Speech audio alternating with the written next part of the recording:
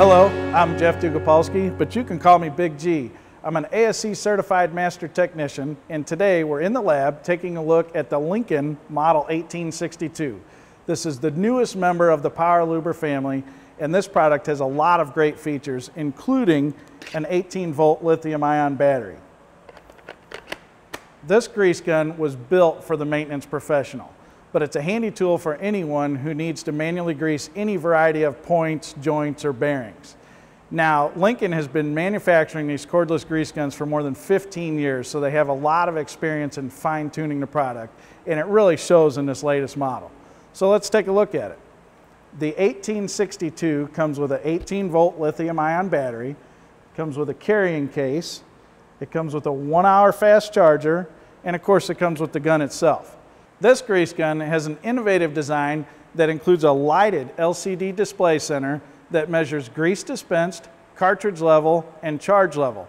Some other nice features found on this gun include an LED light at the front of the unit, which is handy when under equipment or when greasing early or late in the day.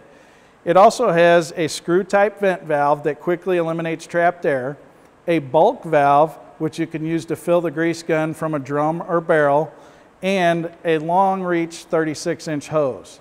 Another nice feature is the two speed transmission. When in the L position or high pressure position, the tool outputs 3.5 ounces per minute with a maximum pressure of 7,500 PSI. In the H or high flow position, the tool outputs 9 ounces per minute with a maximum output pressure of 3,000 PSI, providing great versatility. Here you can see the LCD screen which is extremely handy when you need to apply a specific amount of grease. To monitor the grease output, simply watch the screen as you apply the grease and stop when you've reached the correct amount. You can clear the amount dispensed at any time by holding the A button down. If you want to see how much total grease has been used, simply hold down the B button and the display will change to show the total grease dispensed.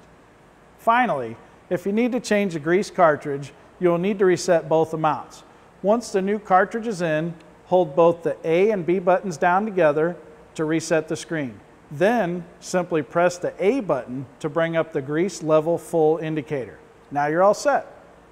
One last thing, let's take a closer look at the lightweight high amperage 18 volt lithium ion battery. This battery is rated at 3000 milliamp hours. Not only does it slide on and off easily, but it lasts longer per charge and has the capacity to be charged up to 1,500 times. That's three times longer than a traditional NiCad battery. So in the end, this battery is a better bang for the buck.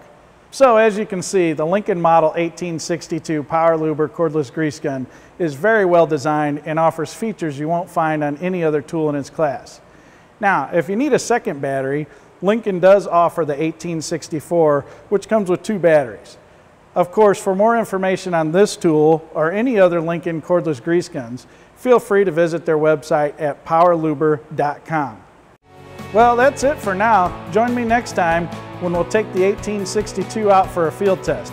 I'm Big G, and I'll see you around the garage.